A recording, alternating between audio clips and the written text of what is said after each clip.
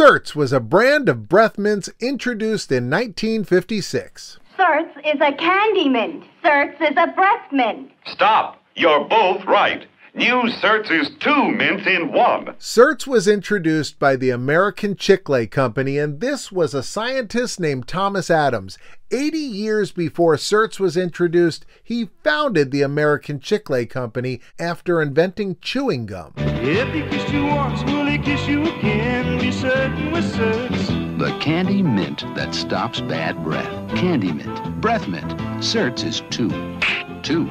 Two mints in one. He was actually working on making a rubber that you could use to patch a tire, and instead found that if you put a little sugar in it, it tasted delicious and was fun to chew. So he created his first product called New York Chewing Gum. Certs were similar to Breath Savers or lifesavers. They were round, they were a disc, no hole in them, and they were sold in a pack. The name Certs is short for certified by Good Housekeeping here at the Good Housekeeping Research Institute in New York City, where thousands of products are tested every year, from waterproof boots to vacuum cleaners to how well your cell phone survives being dropped. It's a lot of work rating all these products. Only a small percentage get the coveted Good Housekeeping seal of approval. Certs were classified as mints, but technically they weren't because they didn't contain any oils of the mint plant. The mint oil is stored on the underside of these leaves, there's little glands or sacklets. Certs had a trademark ingredient called retsin.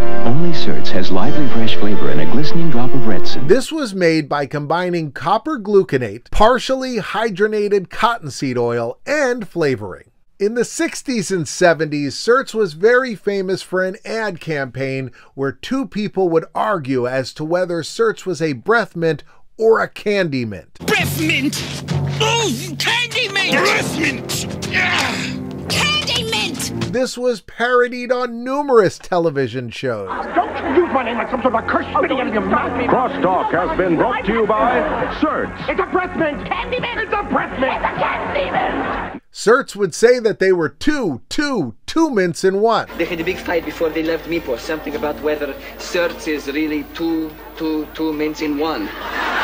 In 1999, the U.S. Customs Service officially designated it as a candy and not a mint. Now, this was a big deal for tariff purposes because candy mints were taxed differently than oral hygiene products. A court battle ensued, and the parent company of Certs at that time was Cadbury. Cadbury Dairy Milk Chocolate embraces substantial nourishment, enjoyment, and that great Cadbury taste. Cadbury brought forward a scientist who pointed out that this did work to freshen your breath. Certs had ingredients that would produce extra saliva that would cause you to swallow away your bad breath, and then the flavors and oils in the certs would then flavor your mouth and keep your whole mouth minty fresh. However, the courts ruled that there were no antibacterial ingredients in it, and it was simply a candy mint.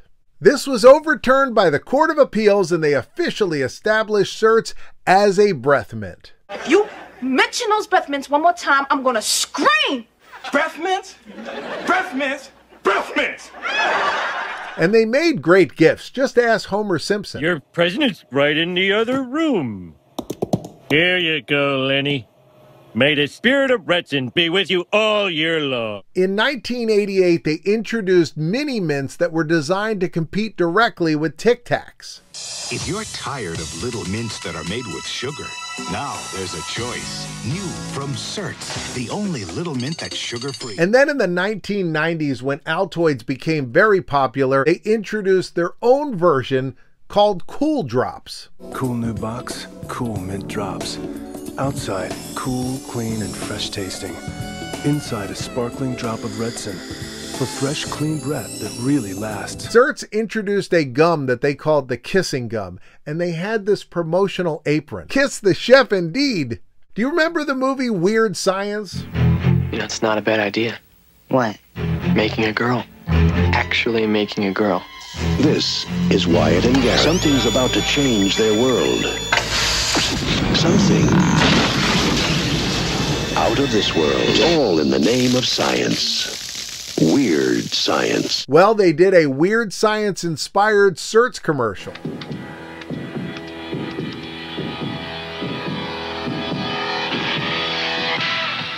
Cert's candies taste so intense you'll see grape purple, hear fruit punch, and feel wild cherry.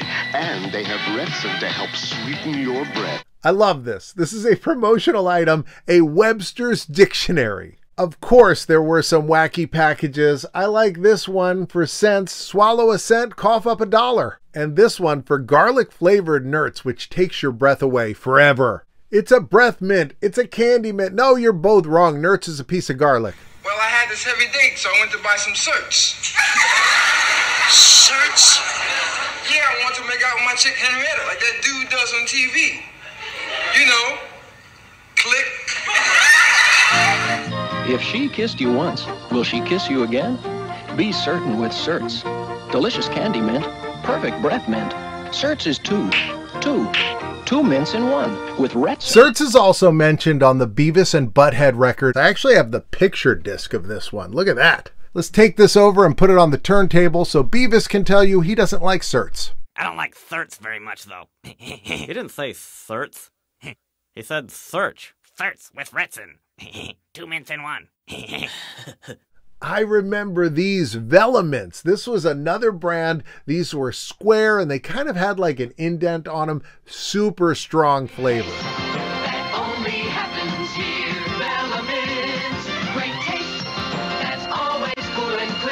Cool refreshment. That's the Velamint's taste. Great taste that only happens here, Velamint. When I was growing up, the coolest kids had one of these and you would spray that in your mouth before you talked up any dame.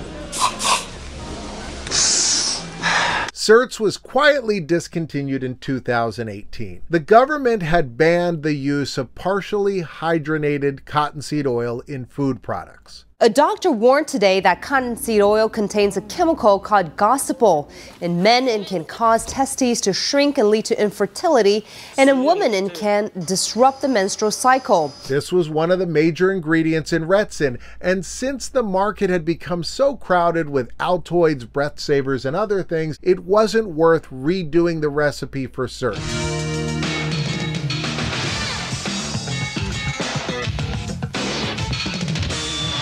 Everyone may have their own individual taste, but Certs is the taste everyone can agree on because fresh breath speaks for itself. And how about this thing?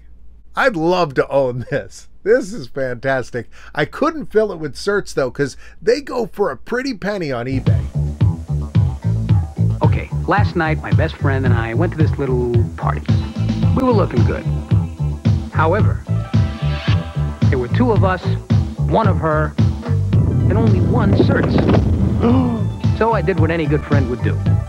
I got the fresh, clean breath. Hey. Hey. And I let him have all the onion dip. Look at this. A box of certs will run you $589. Look at this one. Extra flavor. It's got like a little raccoon valentine on it. Oh man, look at this cinnamon flavored classic mints. Man, that looks good. Best of used by 2014. I imagine they taste exactly the same. Does Retsin go bad? Once, my mother and I went to lunch. When I opened my purse to pretend like I might pay the check, a roll of certs tumbled out. Who is he, she asked. It's always surprising and kind of sad when a, a brand name that has been around your whole life and was always a big part of culture has kind of faded away. Certs is one of those, I didn't know it disappeared. I mean, it's been years now. I didn't even notice. If they had those displays, though, those things were great. That thing looked like a giant certs on the counter with little certs within it. That's a that's a smart design. That reminds me of the L'eggs egg, which was probably the best design I've ever seen. They would build this giant nest with all these L'eggs eggs, and L'eggs was a type of pantyhose. And they could put this in any grocery store. Because the thing was, when L'eggs first came out, pantyhose were only sold in department stores. And they were like, no, we're going to sell them at your convenience store, your grocery store, your stationery store, every store. Uh, that's a wild story. I researched all in on L'eggs, and I'm going to put that video right up here. Otherwise, YouTube says this is what is best for you. You can choose either one. I'm in both. I'll see you next time.